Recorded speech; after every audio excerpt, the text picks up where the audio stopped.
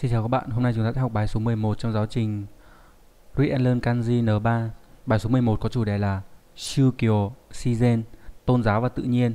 Các bạn sẽ quan sát các chữ Hán từ 481 đến 496 Trước hết chúng ta sẽ lướt qua một lượt trước khi bắt vào bắt đầu vào học từng chữ chi tiết nhé. 481 là chữ thân, có nghĩa là nói ra này. 482 là chữ thần trong từ thần thoại, thần thánh. 483 là chữ dạng trong từ đa dạng. 484 là chữ tín trong từ tín dụng, đúng nhỉ? Hoặc là ừ, nó mang nghĩa là tin. 485 là chữ điều trong từ điều tra 486 là chữ tra trong từ điều tra, kiểm tra 487 là chữ tương trong từ gì nhỉ? Tương hoặc là tướng, ví dụ trong từ tương đương hay là thủ tướng. 488 là chữ đàm trong từ hội đàm, tọa đàm. 489 là chữ án trong từ giáo án hoặc là đồ án. 490 là chữ nội, có nghĩa là bên trong. 491 là chữ quân Kimi khi mà xưng hô hoặc là quân trong từ quân chủ. 492 là chữ đạt trong từ thành đạt. 493 là chữ tinh trong từ vệ tinh hoặc là các ngôi sao ấy. 494 là chữ tuyết có nghĩa là tuyết này. 495 là chữ dáng có nghĩa là rơi xuống và 496 là chữ trực có nghĩa là chỉnh sửa sửa chữa hoặc là trực tiếp. Bây giờ các bạn sẽ đi vào chi tiết từng chữ nhé chữ đầu tiên chúng ta có đây là chữ thân. Chữ thân nếu mà phân tích thì, thì nó ghép bởi bộ gì các bạn? Nó ghép bởi bộ nhật đúng không nhỉ? Bộ nhật đây là cái chữ nhật này này. Và một nét cổn, đúng không? Đấy, bộ nhật và nét cổn. Thì chữ này có âm cương là mô, ví dụ trong từ mô sự là được gọi là, nói là chính là cái dạng lịch sự của gì đấy? Chính là dạng, chính là dạng à, khiêm nhường ngữ của động từ imas đúng nhỉ? Đấy, thì khi mà giới giới thiệu bản thân một cách lịch sự, chúng ta sẽ nói là watashi wa, ví dụ watashi wa tanaka to moshimasu thì chính là cái chữ này, đúng nhỉ? Tiếp theo Moshiageru có nghĩa là chữ thân và chữ thượng nghĩa là diễn đạt phát biểu hoặc nói ra là dạng khiêm nhớ ngữ của iimas nhá. Moshikomu là thân nhập là đàm phán đặt hàng đăng ký. Moshiwakenai là thân dịch là xin lỗi một cách lịch sự đúng nhỉ? Ví dụ dạng rất lịch sự nó sẽ dùng là Moshiwakenai hay là Moshiwake gozaimasen ấy, nó lịch sự hơn sumimasen các thứ. Moshideru là thân suất là yêu cầu. Âm onyomi đọc là xin ví dụ từ xin Shinseisho Shinseisho là gì nhỉ? Thân thỉnh thư là đơn xin. Về thông tin bổ sung này, đây là cái mà vừa nói xong. Chữ Hán này được dùng nhiều trong các dạng kính ngữ. Mô sự là khiêm nhường ngữ của yêu dùng để nói về một sự việc của bản thân không liên quan tới người khác. Ví dụ Yamada Tomoshimasu tôi tên là Yamada. Còn Moshi ageru là khiêm nhường ngữ của yêu nhưng lại dùng trong trường hợp nói điều liên quan tới người khác tức là mos thì dùng để nói về bản thân mình mà cái đấy nó không hề liên quan đến người khác nhưng mà mosiageru ấy lại là nói cái điều gì đấy nói cái điều liên quan tâm liên quan đến người khác nhé ví dụ um, futari no ni atate o iwai mosiagemashita đúng nhỉ tôi nói ra vài lời chúc mừng nhân dịp kết hôn của hai người thì cái ngữ pháp ni atate các bạn sẽ được học ở N2 có nghĩa là dịp cái dịp kết hôn của hai người ấy. bình thường mình sẽ nói là o iwai o imashita đúng không nhỉ? Nói lời chúc mừng. Thế nhưng mà trong cái dạng uh, lịch sự ấy để thể hiện cái sự gì nhỉ? Để thể hiện cái sự tôn trọng đối phương thì dùng dạng khiêm nhường là moshi agemas tiếp theo chữ chúng ta có chữ thần. Chữ thần ghép bởi gì nhỉ? Chữ thần ghép bởi phần bên trái là bộ mịch. Bộ mịch đấy. À xin lỗi không phải bộ mịch mà là bộ gì nhỉ? Mà là bộ bộ thị. Đấy bộ thị. Bộ thị. Tượng trưng cho gì nhỉ? Tượng trưng cho những cái việc mà liên quan đến đến tâm linh ấy. Ví dụ như là mấy cái chữ như là chữ lễ rồi thì chữ gì nhỉ? Chữ um, thần hay có những cái bộ như thế này. Thì âm cương của chữ này đọc là kami gami hay là cô ví dụ trong từ kami nghĩa là thần. Đấy các bạn biết từ kami sama đúng không? Kami sama là thần thần linh đúng nhỉ? Chúa này. Uh, megami megami là chữ nữ ghép với chữ thần nhé megami là nữ thần. Shinigami là chữ tử với chữ thần ghép vào đọc là Shinigami là tử thần là thần chết này. Kobe là chữ thần với chữ hộ, đọc đặc biệt là đọc là Ko có nghĩa là thành phố Kobe. Âm ôn yomi của nó đọc là Shin hoặc là Jin. Đa số đọc là Shin, riêng trong từ thần xã đọc là Jinja, đúng nhỉ? Jinja là đền thờ đạo thần. Shinke là thần kinh, Shinto là thần đạo. Se Shin tinh thần, Shinwa thần thoại, Shinpi thần bí. Đấy khá là nhiều từ gần giống gần giống tiếng Việt mình đúng không? Về kanji tương tự chúng ta có đây là chữ thân. Chữ thân này ghép bởi phần bên trái là bộ nhân đứng đây và phần bên phải là gì nhỉ phần bên phải là cái chữ thân ở trên này này đấy thì chữ thân này nghĩa là vươn ra dài ra nhé các bạn sẽ được học ở phần uh, kanji tập 2 đúng nhỉ nó chính là cái chữ thân nó đọc là gì đấy? No nô bi rự đây này. Đấy, giãn ra đấy. Nô bi rự nhá. Hoặc là dạng tha động từ là nô ba sự.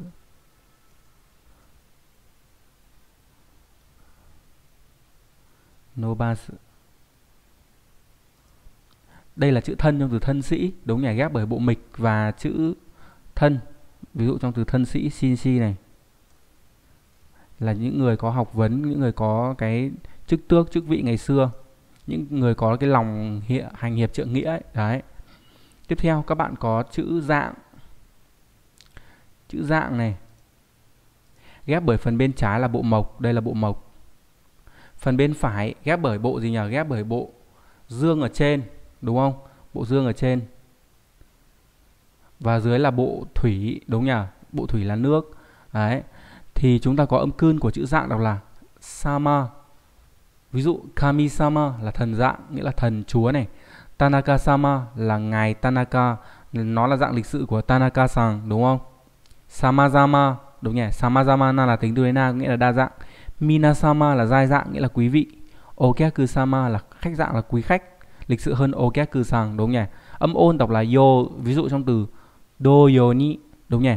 Doyoni có nghĩa là đồng dạng giống nhau, giống tayo là đa dạng, yoshiki là dạng thức, có nghĩa là cách thức kiểu cách. Về kanji tương tự, chúng ta có đây là chữ gần na ná chữ này, bởi vì là cái bộ này, đúng không? Cái bộ bên trái, bộ thị này này, nó cũng gần gần giống bộ mộc. Và phần bên phải nó cũng na ná na ná một chút, đúng nhỉ? Đây là chữ tường, trong từ cát tường, đấy. Ví dụ trong từ cát tường chúng ta sẽ đọc là kisho đây nhá kisho có nghĩa là cát tường là điều may mắn, tốt lành. Tiếp theo chúng ta có chữ tín. Chữ tín ghép bởi phần bên trái là bộ nhân đứng, phần bên phải là bộ ngôn, là nói. Vậy thì chúng ta có thể nhớ cái chữ này theo cách đấy là người này nói toàn điều đáng tin, đúng không nhỉ? Phần bên trái là người, phần bên phải là nói nhá. Người này nói toàn điều đáng tin, âm khưn, chữ này không có. Âm ôn đọc là xin, ví dụ trong từ single là tín hiệu, thông thường dùng để chỉ đèn giao thông ấy. Xin di rự là tin là tin rằng. Di xin là tự tin. Sinyo là tín dụng, nghĩa là sự tin cậy xin đai là sự tin cậy đúng nhỉ? Chữ tín và chữ lại. Xin cô là chữ tín và chữ ngưỡng nghĩa là tín ngưỡng. Dư xin là thụ tín là thu tín hiệu. Về phần thông tin bổ sung thì chúng ta có cái xin di rự ấy có thể tạo thành cấu trúc ngữ pháp mang nghĩa là tin rằng tin là tương tự như cái ngữ pháp uh, omo to omo là nghĩ là hay là to y là nói là đấy. Thì cái từ động từ tin này cũng dùng như thế. Ví dụ cấu trúc sẽ là thể thông thường cộng với to cộng shinjimas có nghĩa là tin rằng như vậy nhá chẳng hạn, nếu mà nói bình thường là gì nhỉ? Nếu cố gắng thì chắc chắn sẽ thành công. Mình sẽ nói là gambareba kanarazu seiko shimasu, đúng không nhỉ? Thì để nói là tôi tin chắc thì các bạn sẽ biến cái đấy về thể thông thường. Thì seiko seiko shimasu sẽ biến thành seiko suru. Thành là gì nhỉ? Gambareba kanarazu seiko suru to shinjimasu. Đấy là cái cách để chúng ta dùng cách nói là tin tưởng điều gì đó. Tiếp theo chúng ta có chữ điều. Chữ điều ghép bởi phần bên trái là bộ gì nhỉ? Phần bên trái của chữ điều là bộ ngôn là nói và phần bên phải là chữ chu. Trong từ chu đáo hoặc là chu vi thì chúng ta có thể nhớ theo cách đấy là nói chu đáo khi điều tra đúng không nhỉ? Đây là chữ ngôn là nói nhé, đây là chữ chu trong từ chu đáo, nói một cách chu đáo khi điều tra cái gì đó này. Âm cun đọc là shira hoặc là totono. Ví dụ trong từ shiraberu có nghĩa là điều tra cái này các bạn biết rồi, điều tra tìm hiểu này, hoặc là totonoeru có nghĩa là điều chỉnh hoặc là nêm nếm gia vị lát chúng ta sẽ đi vào cái phần thông tin bổ sung của cái chữ này. Âm ô đọc là cho ví dụ từ kyocho kyocho sự là cường điều, cường điệu là nhấn mạnh. Cho si là điều tử, nghĩa là tình trạng. Cho dạ là điều tra. Cho mi điều là điều vị liệu, là gia vị nấu ăn. Cho set là điều tiết. Cho se là điều chỉnh. Cùng cách đọc totonoeru ấy, có hai cách viết là chữ này, đúng không? Và chữ này, chữ điều và chữ chỉnh nhá. Đấy, bởi vì điều hay là chỉnh thì đều là đều là sự gì nhỉ? Sự sắp xếp, sự chỉnh sửa đúng không? Do vậy cùng cách đọc âm cun là totonoeru. Thế nhưng totonoeru dùng chữ điều ấy nó mang nghĩa là sắp xếp bổ sung những thứ còn thiếu. Ví dụ ajio totonoeru là điều chỉnh vị đúng không nhỉ nêm nếm gia vị vào nhá nó còn thiếu nên mình cho thêm còn cái chữ totonoeru do chữ chỉnh ấy thì nó mang nghĩa là sắp xếp chấn chỉnh để không gây ra sự hỗn loạn đúng nhỉ ví dụ như là tai chố totonoeru là điều chỉnh lại tình trạng cơ thể. Tiếp theo các bạn có chữ cha. Chữ cha ghép bởi gì nhỉ? Ghép bởi ở trên là bộ bộ mộc là cái cây phần dưới là bộ uh, thả đúng nhỉ? Có nghĩa là và cái chữ thả này các bạn sẽ được học ở sau nhá. Sẽ được học ở trong phần kanji N1 uh, ờ, và cái chữ này nó gần giống cái bộ bia mộ ấy đúng nhỉ? Thì chúng ta có chữ này không có âm cương thường dụng âm ô nào là sao ví dụ từ chô sa. Chô sa là điều tra ken sợ là kiểm tra jun sợ tuần tra so sợ là sư tra nghĩa là điều tra hai phía xin sợ là thẩm tra. Như vậy là có mấy từ nó cũng na ná giống tiếng Việt mình về cách sử dụng đúng không? Điều tra kiểm tra tuần tra thẩm tra này. Về kanji tương tự chúng ta sẽ có một số chữ gần gần hơi hơi gọi là na ná một chút. Chúng ta có đây là chữ hương. Ở trên là bộ hòa là lúa và ở dưới là bộ gì nhỉ? Dưới là bộ um, bộ nhật là mặt trời. Thì hương này đọc là kao trong từ kao kaori đúng không? Kaori là mùi thơm mùi hương. Hay đọc là cô trong từ gì nhỉ? Trong từ cô sui đúng không? Cô sui là hương thủy là nước gì đấy? Nước hoa. Đấy. Tiếp theo đây là trên là bộ gì nhỉ? Trên là bộ uh, trên là bộ uh, bộ bộ mộc là nước dưới là bộ bộ khẩu là miệng. Thì đây là chữ hạnh có nghĩa là quả hạnh quả mơ. An dư nhá. Đọc là an dư. Đấy. Tiếp theo các bạn có chữ tương. Chữ tương ghép bởi phần bên trái là bộ gì nhỉ phần bên trái là bộ bộ mộc là cái cây phần bên phải là bộ mục là mắt. Thì chúng ta có thể nhớ chữ này theo cách đấy là cây này lọt vào mắt của thủ tướng rồi. Đây là cây này đây là mắt này đúng nhỉ? Thì toàn bộ chữ này là tương hoặc là tướng. Cây này lọt vào, lọt vào mắt của thủ tướng rồi. Âm khương yomi của chữ này đọc là ai? Ví dụ trong từ it là chữ tương và chữ thủ nghĩa là đối phương ai kawarazu là tương biến nghĩa là như bình thường. Âm ôn đọc là so hoặc là sho ví dụ trong từ sodan suru là tương đàm nghĩa là thảo luận bàn bạc. Soto là tương đương đúng không? Sozo cự là tương tục là sự kế tiếp. Còn trong đọc là sho trong gì nhỉ? Shusho shusho là thủ tướng đúng không? Và đặc biệt trong cái chữ này đúng nhỉ? Chữ, chữ tương và chữ phát nó đọc là sumo đúng nhỉ? Sumo là võ sumo của chúng ta ấy về phần thông tin bổ sung ấy thì chúng ta sẽ cần lưu ý tránh sự nhầm lẫn về chữ Hán trong hai trường hợp sau. Đấy là cái chữ Shogun đúng nhỉ? Shogun là tướng quân và Shusho là thủ tướng. Các bạn đều thấy là tướng hết và các bạn nghĩ là à giống nhau. Không phải, tướng quân nó là chữ tướng chữ tướng này nhá. Đấy, tướng tương này trong từ tương lai. Còn đây là trong gì à? Tương đương. Mặc dù cũng chả hiểu sao là tướng quân và thủ tướng đều là tướng nghe nó kiểu là cùng là chức sắc chỉ huy đúng không nhỉ? Mà lại hai chữ khác nhau. Tiếp theo chúng ta có chữ đàm. Chữ đàm ghép bởi gì nhỉ? Chữ đàm ghép bởi bộ gì đây? Bộ ngôn là ngọn lửa và bên phải là bộ viêm. Thực ra hai ngọn lửa này nó chính là bộ viêm trong từ trong các chứng bệnh viêm ấy thì dùng cái chữ này. Thế nhưng mà uh, ở đây chúng ta có thể nhớ, nhớ là hai ngọn lửa cho dễ. Đấy là phát ngôn nóng bỏng như hai ngọn lửa tại cuộc hội đàm đúng không? Đây là đây là chữ ngôn nhé phát ngôn này nóng bỏng như hai ngọn lửa tại cuộc hội đàm. Toàn bộ chữ này là chữ đàm. Chữ này không có âm cương thường dụng âm ôn đọc là đan ví dụ từ sodan sư là chữ tương và chữ đàm có nghĩa là trao đổi bàn bạc. Kaidan là hội đàm. Jodan là nhũng đàm nghĩa là chuyện đùa. Zadang Kai là tọa đàm hội là hội bàn tròn. Giạt sư đan là tạp đàm là nghĩa là sự tán gẫu Thaidan là đối đàm là đối thoại. Về từ đồng nghĩa của chữ sodan sư tự chúng ta sẽ có từ hanashiau đúng nhỉ? Kazoku to sodan shite cũng có thể nói là hanashiate kimemasu tức là bàn bạc với gia đình rồi quyết định. Tiếp theo chúng ta có chữ án. Chữ án ghép bởi phần trên là chữ gì nhỉ? Phần trên là chữ an đúng không? Ghép bởi gì nhỉ? Uh, mái nhà và dưới là người phụ nữ ấy. Có người ở phụ nữ trong nhà thì thật là yên tâm đúng không? An tâm. Dưới là bộ bộ mộc là cái cây vậy thì chúng ta có thể nhớ chữ này theo cách đấy là an tâm ngồi dưới bóng cây làm dự án đúng không?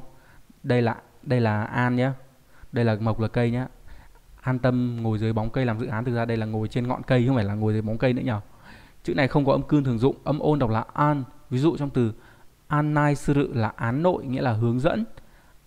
An gai là án ngoại nghĩa là bất ngờ to an yoshi là đáp án dụng chỉ nghĩa là giấy trả lời câu hỏi. Khi các bạn đi thi năng lực tiếng Nhật ấy thì người ta sẽ phát cho các bạn cái tờ giấy để tô ấy thì cái đấy gọi là to an yoshi nhá. Đấy, giấy trả lời câu hỏi ấy.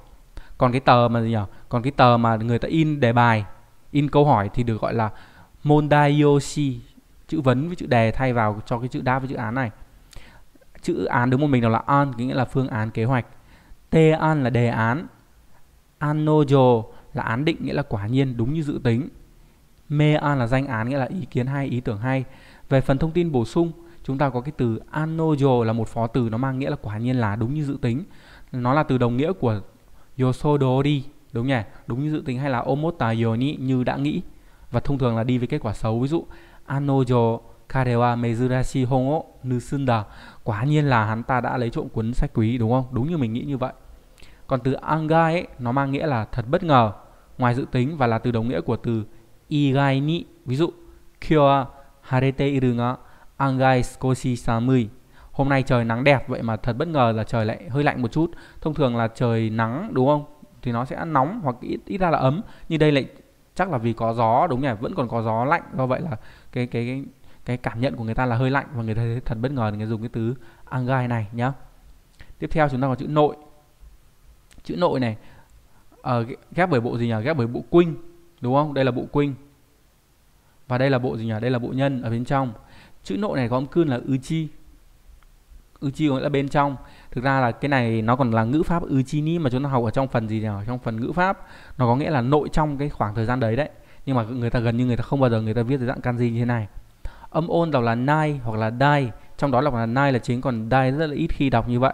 Ví dụ trong từ anai suru là án nội nghĩa là hướng dẫn này toka inai toka inai nghĩa là trong vòng 10 ngày thì có cái chữ dĩ và chữ nội có nghĩa là trong vòng nhá.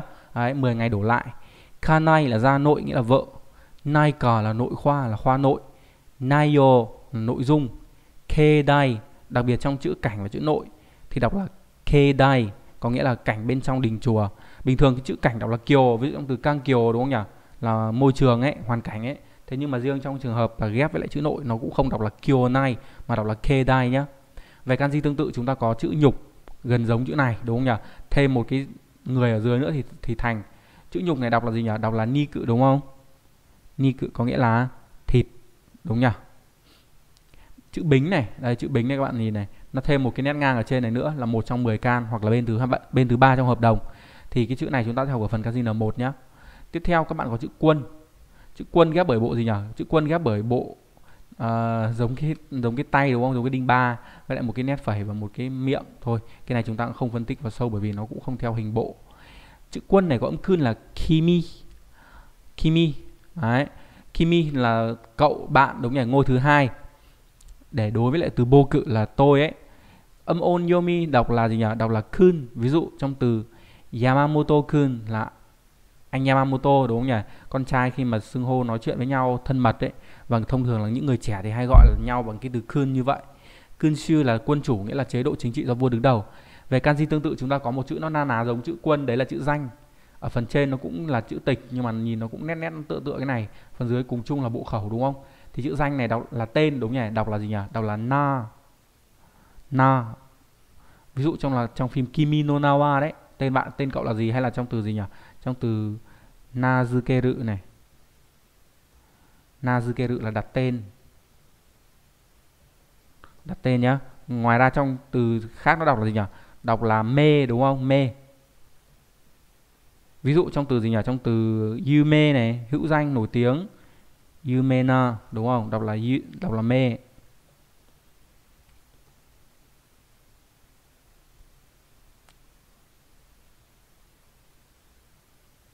và trong trường đọc đặc biệt, ví dụ trong từ công danh đọc là miều. Đây, ví dụ nhá, đây là chữ công và chữ danh này, đọc là cô cô miều. Tiếp theo, chúng ta có chữ đạt. Chữ đạt ghép bởi bộ gì nhỉ? Chữ đạt ghép bởi phần trên cùng là bộ thổ là đất, phần dưới là bộ bộ dương là con cừu, và đây là bộ xước, có nghĩa là con đường. Vậy thì chúng ta có thể nhớ chữ này theo cách đấy là đất đúng không? Đây là thổ là đất này. Đất con cừu đội trên đường mang lại thành đạt cho phường chúng tôi đúng không nhỉ? Đây là đất nhá. Đây là con cừu nhá. Đất con cừu nó đội ở trên đường ấy thì mang lại sự thành đạt cho phường của chúng tôi. Để cho nó vần thơ thôi. Chữ này không có âm cương thường dụng. Âm ôn đọc là ta sự hoặc là chữ ta và có âm ngắt. Ví dụ số cư ta sự là tốc đạt nghĩa là gửi nhanh. Yo ta sự là thượng đạt nghĩa là tiến bộ, tiến triển. Hai ta sự là phối đạt nghĩa là phân phát, phân phối. Ta sự là đạt tới hatat ta sự là phát đạt nghĩa là phát triển. Ví dụ dùng trong cơ bắp đúng không nhỉ? Kiniku này, kiniku ngã hà ta sự là cơ bắp phát triển hay là các cơ quan trong cơ thể phát triển dùng từ này hoặc là cô sư là giao thông. hatat sự này nó khá là giống từ hạt tên sự ấy nhưng mà hạt tên thì hay dùng cho kinh tế, kê dai vân vân hay là nền văn minh bưu mê Tatsujin là đạt nhân là người trưởng thành đặc biệt là trong chữ gì nhỉ trong chữ Tomodachi đúng nhỉ nó nó đọc là dachi đúng không là bạn bè, hoặc là chính trong là mấy cái từ gì nhỉ? Watashitachi cũng là chữ này. Watashitachi nhá. Đấy. Dùng để chỉ số nhiều, đúng không? Chúng tôi. Tiếp theo các bạn có chữ chữ tinh này. Chữ tinh ghép bởi ở trên là bộ gì nhỉ? Trên là bộ nhật là mặt trời và dưới là bộ sinh. Cách nhớ đấy là mặt trời sẽ sinh ra các ngôi sao đúng không? Thì toàn bộ chữ tinh này nghĩa là ngôi sao. Âm cương đọc là hoshi hoặc là boshi, ví dụ từ hoshi nghĩa là ngôi sao. Hoshi uranai có nghĩa là thuật chiêm tinh, thuật bói sao. Nagare boshi nagare boshi là lưu tinh nghĩa là sao băng. Âm ôn đọc là c jo hoặc là sho, nhưng đọc chủ yếu là c ví dụ trong từ ec là vệ tinh. C ra là tinh tọa nghĩa là tròn sao. Wakuse là hoặc tinh nghĩa là hành tinh. Ryuse là lưu tinh nghĩa là sao băng. Sao băng có hai cách cách đọc, đấy là Nagareboshi và gì nhỉ? Và Ryuse lưu ý nhé hai cách đọc. Về thông tin bổ sung này chúng ta sẽ có các ngôi sao trong hệ mặt trời đúng nhỉ? Hệ mặt trời trong tiếng Nhật ấy nó gọi là Thái Dương hệ. Thai Yoke đây Thái Dương hệ Thái Dương hệ là hệ, hệ mặt trời đấy. Đầu tiên gần mặt trời nhất là sao thủy đọc là Suise là chữ thủy và chữ tinh này. Tiếp theo là sao kim kim c là chữ kim và chữ tinh. Trái đất là chi địa cầu này. Sao hỏa hỏa tinh là kc sao mộc là mộc cư c sao thổ là đô c sao thiên vương là tên nô c thiên vương và chữ tinh nhá sao thiên vương sao hải vương là cai oc ngày xưa có sao gì nhỉ? Sao diêm vương đúng không? Đấy. Mê oc đúng nhỉ?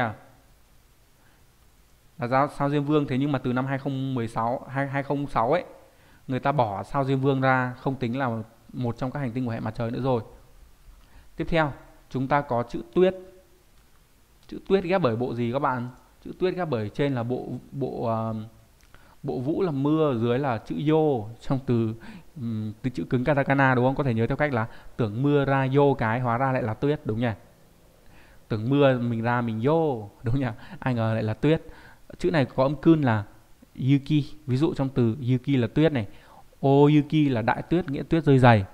Âm ôn đọc là setsu ví dụ trong từ shinsetsu là tân tuyết, nghĩa là tuyết mới rơi. Cô setsu là dáng tuyết, nghĩa tuyết rơi và đặc biệt, nó sẽ có một số cách đọc đặc biệt. Ví dụ trong từ chữ tuyết và chữ băng đọc là nadade. Nadade là tuyết băng, nghĩa là tuyết lở. Hubuki là suy tuyết, nghĩa là bão tuyết. Về kanji tương tự thì các bạn có một số chữ kanji gần giống chữ này. Thông thường là nó sẽ có chung bộ vũ. Những cái chữ mà có bộ vũ thì thường liên quan đến thời tiết. Ví dụ đây là chữ lôi, đúng không? Trên là gì ở trên là mưa và dưới là đồng, cánh đồng ấy. Khi mà mưa thì ở cánh đồng, khi mà sắp mưa thì trên cánh đồng sẽ có rất là nhiều sấm sấm chớp, đúng không? Thì chữ này đọc là gì nhỉ? Đọc là kaminari. Kami kami là gì nhỉ? Kami là thần, đúng không? Nari là trong cái động từ naru là tiếng kêu ấy. Vậy thì sấm chính là tiếng kêu của các vị thần nhá. Đây là chữ điện, lóe lên một cái nữa là thành xét đúng nhỉ? Thành điện. Đen điêu cự. Đen điêu cự là điện lực này. Hay là gì hay là đen qua điện thoại này thì dễ rồi. Tiếp theo chúng ta có chữ vân. Chữ vân này trên là bộ vũ và dưới là gì đây nhỉ? Dưới là bộ nhị ghép với lại bộ tư bộ khư. Thì vân đọc là cư mô nhé cư mô có nghĩa là đám mây. Đây là chữ xương ghép bởi trên là gì nhỉ? Trên là trên là vũ là mưa và dưới là chữ tương đúng nhỉ? Tương chúng ta vừa học ban nãy ấy, thì muối đọc đây là đọc là simo có nghĩa là xương muối xương giá. Tiếp theo chúng ta có chữ dáng. Chữ dáng ghép bởi bộ phụ này bộ uh, truy này và bộ nó gần gần giống chữ niên đúng không? Gần giống chữ niên đây gần giống chữ này. Và cũng gần gần giống chữ ngọ đúng nhỉ?